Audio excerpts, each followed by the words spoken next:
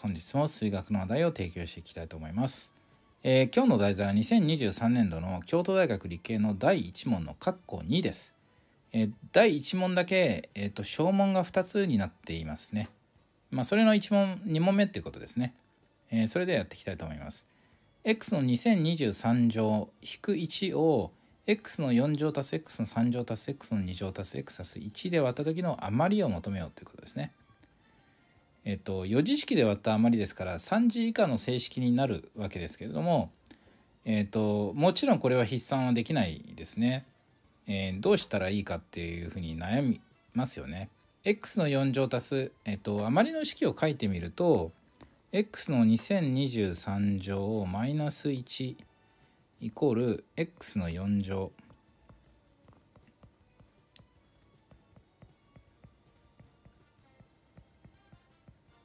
かける、まあ、小が 9x で、えー余りは3次以下だから、まあ、rx というふうに書きましょうかこうやってね。えっ、とここは3次以下の整式が来ると。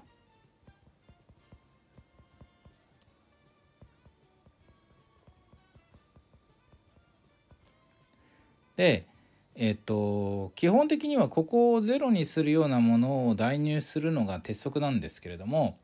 えっと1の5乗根だっていうことに気がつくとまあちょっと早いかもしれないですね。x の、えっと、5乗根っていうものは、えっと、正五角形を作ってるんですけど、まあ、ちょうどこの x-1 をかけてあげるとこのこのまあこれ例えば、えっと、fx と置いた時に fx イコール0の根っていうのは fx イコール x マイナスゼータ1の1乗 x マイナスゼータの2乗 x マイナスゼータの3乗 x マイナスゼータの4乗みたいな形でゼータっていうのはコサイン、えー5分の 2π 足す i サインの5分の 2π という値です。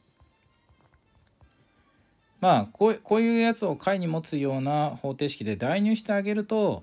えーとまあ、この Rx っていうのが確かに求められるんですが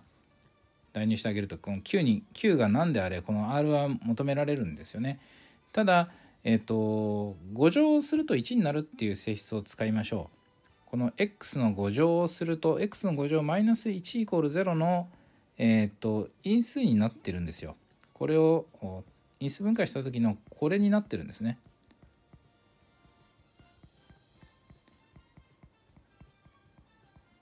ここに現れてるのが f です。これが fx です。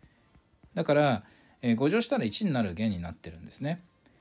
だから、えー、と1の5乗根を代入するっていうのはまあ定石なんですけれども、えー、とこの5乗マイナス1というものが含まれていれば f を含むことになります。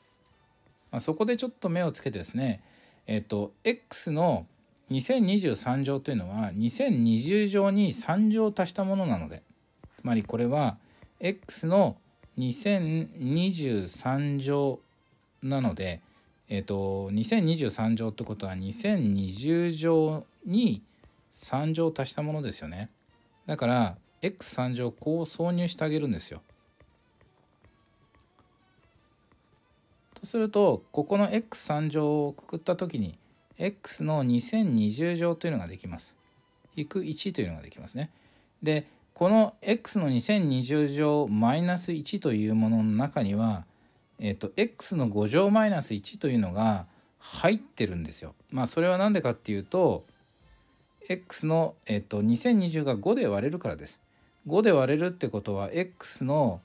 えー5で割ったら400これ5乗ですよね404乗か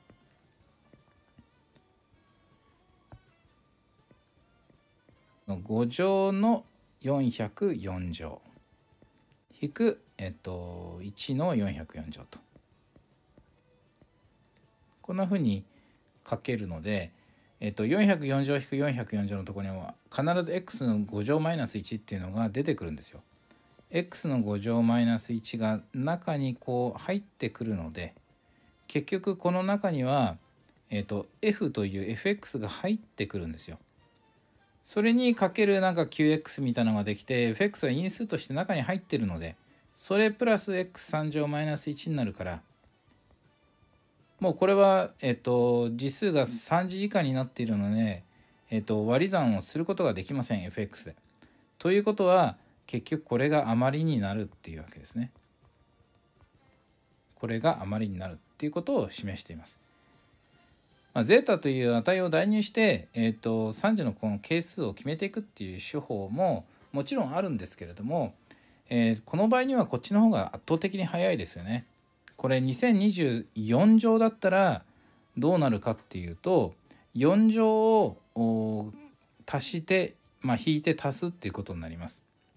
まあせっかくですからちょっと考えてみましょう。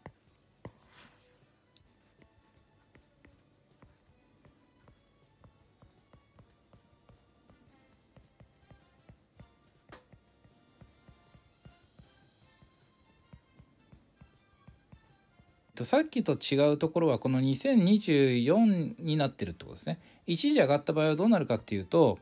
えっ、と、やり方は同じです。2024に対して4乗のところを取ってあげると2020乗ができるから。だからこうなって先ほどと同じようにここは x の4乗でくくってあげると x の2020乗が出てきますね。x の2020乗をマイナス1の中にはえー、因数として fx が入ってます。これを fx とした時に fx が中に入ってます。だから、えーと、結局 x の4乗マイナス1というものを f で割ったあまりに等しいんですけどこれはまだ4次なんですよ。4次式なのでまだ f で割れ算ができるんですよね。したがって、えーと、ここの部分を x の4乗足す x の3乗足す x の2乗足す x 足す1というものを取らないといけない。でその代わりに、えー、小が1として立つのでその代わりマイナス x3 乗マイナス x の2乗マイナス x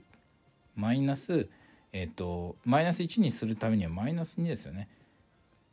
小がこれでさらに割ると小が1でで余りがこれになってこれは3次以下になるので3次以下になってこれが結局余りということになります。いいですか？まあだからこの1はその小の方にこの中に吸収されてしまうわけですよ。ここの中に吸収されてしまうわけです。で残ったものが、えー、と R としてこの R として残ったものはこれということになります。ですかね？まあ2024だったらもう一工夫しなきゃいけないっていうところで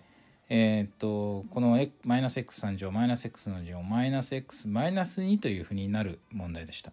まあそれでもこの x の4乗とかを引いて足すっていう挿入をするテクニックを知らないとなかなか難しいものがあるかなと思いますんで、えー、ぜひ覚えておいてください。はい、今回の授業は以上です。ご視聴ありがとうございました。